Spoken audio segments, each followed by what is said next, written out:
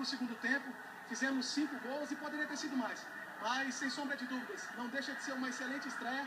É manter os pés no chão e acreditar que essa equipe pode ir muito mais longe. O que Flávio Araújo passou para você no intervalo, que o time foi outro no segundo tempo? Não, a equipe, é, é, é para continuar agredindo, né? um pouco mais de, de agressividade, e nós temos jogadores rápidos para isso. Foi assim com o Pimentinho, o Cleitinho. E o Flávio tem todos os méritos também nessa vitória. Acho que a equipe foi perfeita nesse segundo tempo e mostrou, e mostrou o que tem que ser uh, nessa Série C. Obrigado. Bom, bom Edilson, eu estou aqui agora ao lado do Pimentinha, que todos escolheram o Pimentinha como o melhor jogador da partida. Pimenta, você arrasou no jogo, você fez gol, você infernizou a defesa do Brasiliense e saiu consagrado é, dessa partida.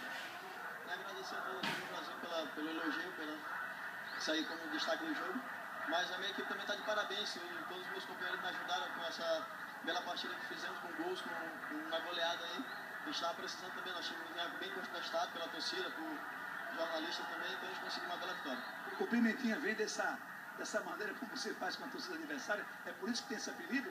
É, acho, que, acho que esse apelido faz jus às belas jogadas que tem dentro de campo.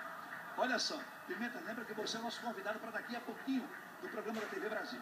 Bem, eu encerro a minha participação daqui do eh, gramado do Estádio Castelão com essa belíssima vitória